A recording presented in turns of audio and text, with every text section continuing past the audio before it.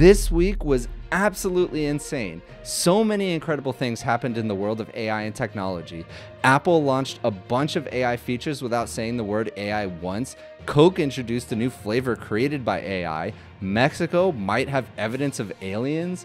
Prisoners in Finland are training AI models. Meta is already developing their next AI model with the target of being better than GPT 4. Tesla is absolutely dominating the self driving race, and so much more. Sit back, relax, don't forget to subscribe, and let's go. Our first story is about Coca Cola.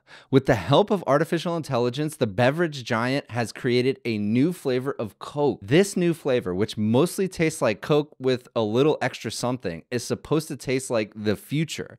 Coke is an old product, and they must keep inventing new ways to appeal to the younger generations, many of whom view sugary soda beverages as a detriment to their health. So, tapping AI to help create a new flavor is their attempt to stay relevant. According to a CNN article, the company relied on regular old human insights by finding out what flavors people associate with the future. Then it used AI to help figure out flavor pairings and profiles. Coca Cola used AI generated images to create a mood board for inspiration. It really does does seem like AI is invading every aspect of our lives at this point, and you'll see more of that in upcoming stories. Next, let's talk about Apple's big launches this week at their event called Wonderlust. Apple is in an interesting position, having hardware in millions of people's pockets that can potentially power AI models. They push every chip upgrade to include more power for AI, even in the Apple Watches. Yet, they never once mentioned artificial intelligence. And this strategy is opposite of their competitors like Microsoft and Google. I've already reported that they're working on their own LLM called Ajax, and AI powered features are everywhere, including noise cancellation, blurring portraits, and predictive text. They even included a new action button on their phone, the first real button change on the phone in years, which will be perfect for quick access to an AI assistant and can already trigger Siri actions. I predict they'll launch an incredibly capable version of Siri powered by Ajax that runs almost entirely on device. Apple Silicon is secretly already great at running AI models. And as more support for Apple Silicon for AI models is released, it will only get better. But they probably will call it Siri and won't mention AI. Imagine a version of Siri that runs locally on device, no need for the internet, and has open interpreter like capabilities that can execute multi step commands. This is what Siri should be, instead of just a way to set timers and remind me of things. Imagine Imagine being able to say, Hey Siri, let my family know I'll be home in 10 minutes and also order DoorDash for when I get home. And it automatically gets done. Apple also is going all in on spatial video. In preparation for the Apple Vision launch, the new iPhone 15 Pro will include cameras that can capture spatial photos and video. This means you're able to take a 3D video that Apple's upcoming VR device can view. Apple also launched an insane feature called Object Capture that allows a camera to render 3D objects just by taking taking a photo of it. This again is in preparation for putting things in the 3D world within the Apple Vision headset. Check out this example.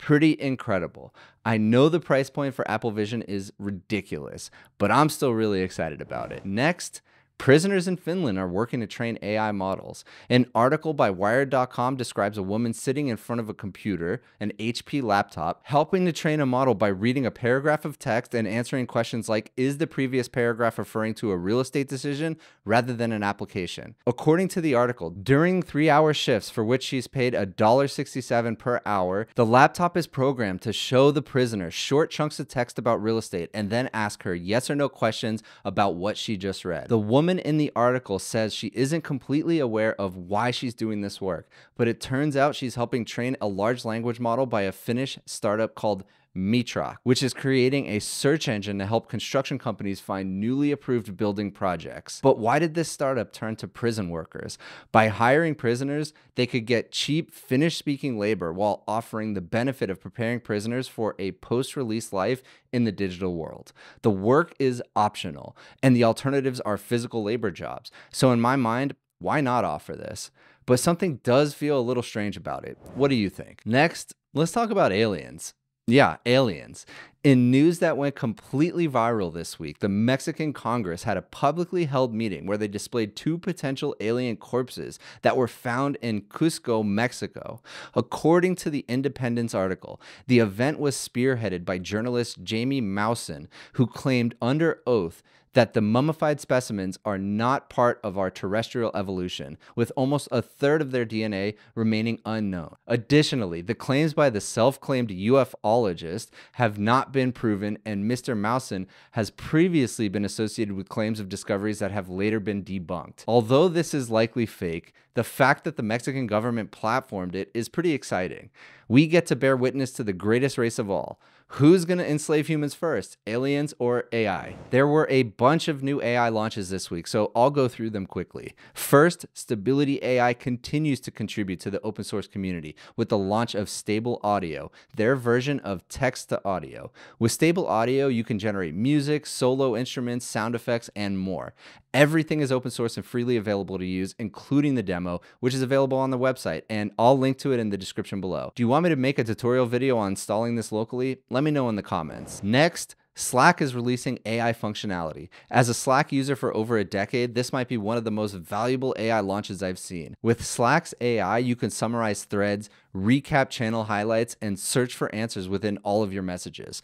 Slack is an incredible tool, but suffers from severe signal to noise issues. A vast amount of business critical information is lost in Slack, so getting answers from the entire history of your conversations will be incredibly valuable. I can't wait to try this out. Next, in direct competition with ChatGPT Plus, Anthropic has launched a paid version of its Claude AI service. Claude was founded by ex OpenAI employees, and its performance has been comparable to ChatGPT's. Now, for $20 a month, customers will get five times more usage, the ability to send many more messages, priority access during high traffic times, and early access to new features. The main difference between Claude Pro and ChatGPT Plus is Claude doesn't have different tiers of GPT, such as GPT 3.5 versus GPT 4. To be honest, I haven't tested Claude much. Should I? Let me know in the comments. Next, Character AI is making massive gains on ChatGPT and mobile app usage in the US, according to an article by robots.net. I haven't had much need for creating characters or doing roleplay with AI, so I haven't used this product much. What are some of the use cases you're using role-playing AI for? But apparently, many other people in the US are using it, with the app generating 4.2 million monthly active users. Character.ai's demographic also tends to skew younger,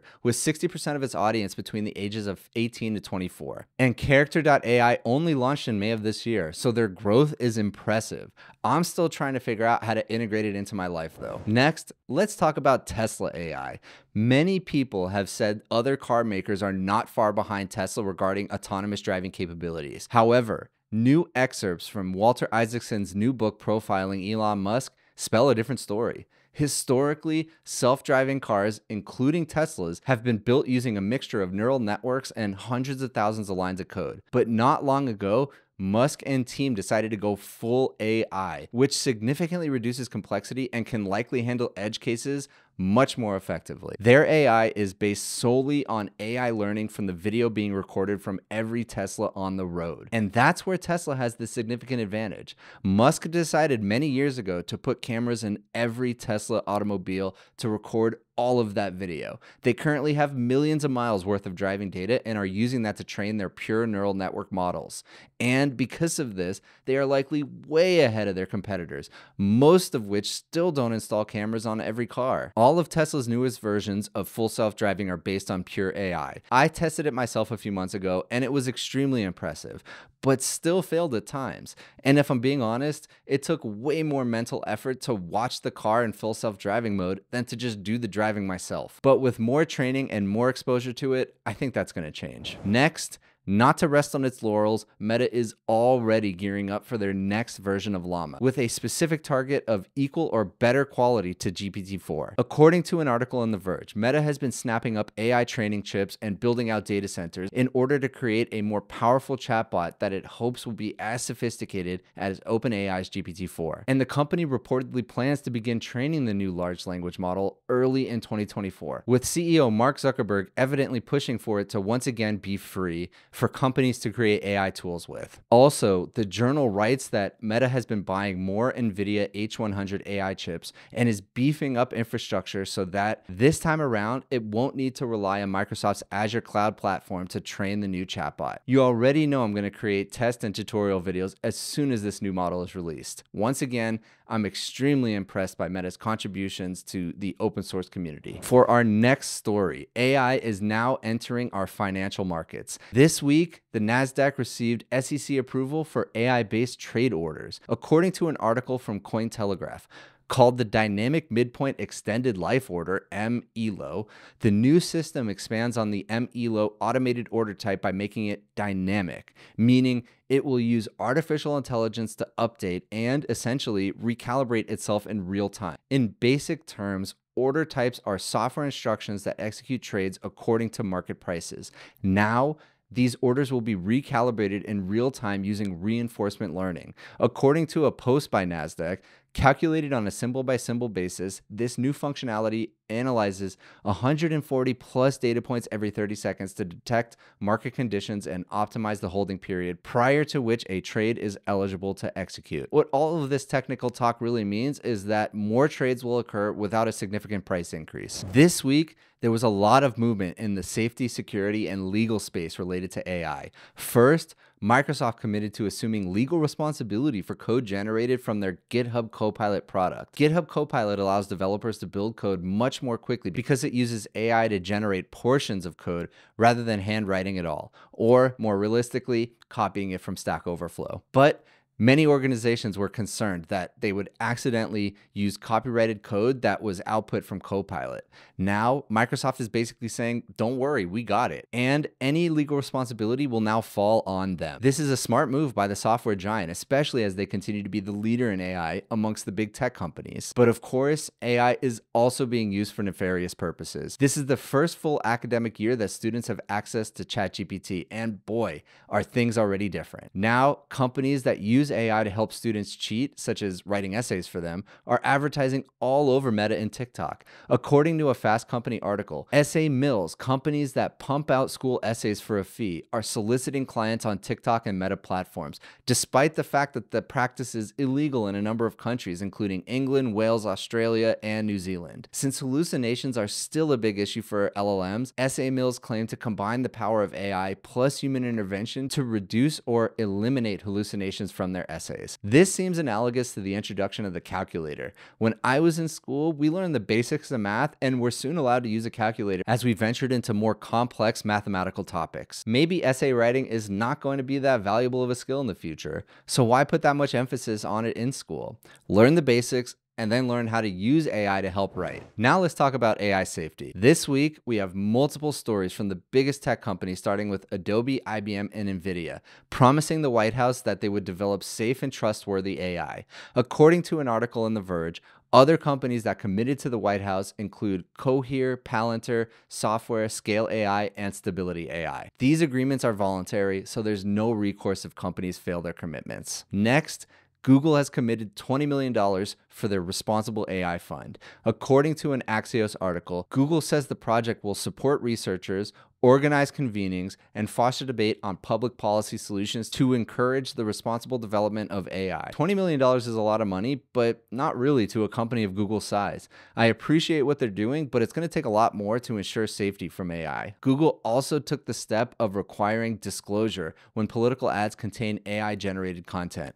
With the upcoming elections, AI generated content and especially deepfakes are going to be an enormous problem for content platforms like Google and Meta. Both companies are are significantly ramping up efforts to identify and prevent AI from being used for harm, fraud, and other nefarious purposes. Continuing the theme of AI disclosure, Amazon enacted a new rule requiring authors to disclose the use of AI when books are published to Kindle. One of the earliest examples of commercialization of AI content was a children's book written entirely by AI. Many authors were up in arms about this revelation, and it was eventually ruled that AI generated work cannot be copyrighted. Now, AI generated work will need to be disclosed. I'm a big fan of requiring disclosure whenever AI is being used, including writing, TV, movies, and even when I'm talking with a chatbot. So I'm happy to see this. Next, when most people think about the resources required to train AI systems, they think about GPUs and electricity, but almost no one thinks about water. According to an article from AP News, water is an important ingredient in the creation of AI, which is often overlooked. Microsoft backed OpenAI needed for its technology plenty of water, pulled from the Raccoon and Des Moines rivers in central Iowa to cool a powerful supercomputer as it helped teach its AI systems how to mimic human writing. Water is used to help cool enormous server farms. In a paper due to be published later this year, it's estimated that ChatGPT gulps up 500 milliliters of water, basically a 16 ounce water bottle, every time you ask it a series of between 5 to 50 prompts or questions. Microsoft, Google, and other tech giants are reporting large increases in their water usage. This is another fascinating side effect of the AI race. More efficient and sustainable technology will be needed as the desire for more performant AI models continues. Okay, enough with the doom and gloom. We have two stories this week that'll make you smile.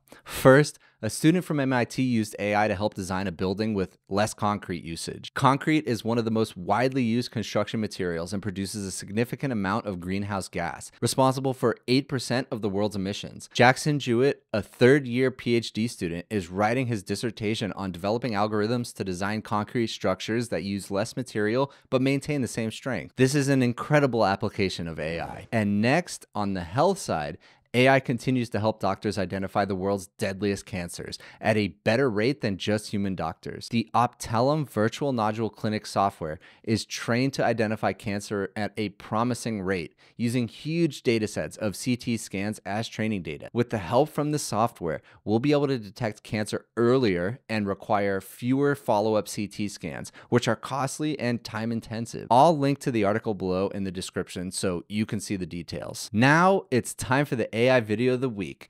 X user Jeff Synthesize has created another compelling video. This week, remaking a scene from Pulp Fiction using AI. Here's a short clip from it.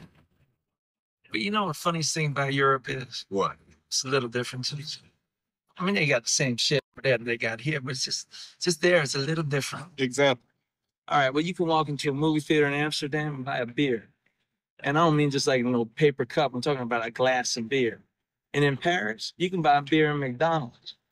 Pulp Fiction is one of my favorite movies of all time, so this video made me happy. Congrats to Jeff for once again being this week's AI video of the week. And for our last story, a new large language model out of Russia has reportedly displayed higher potential than GPT 4.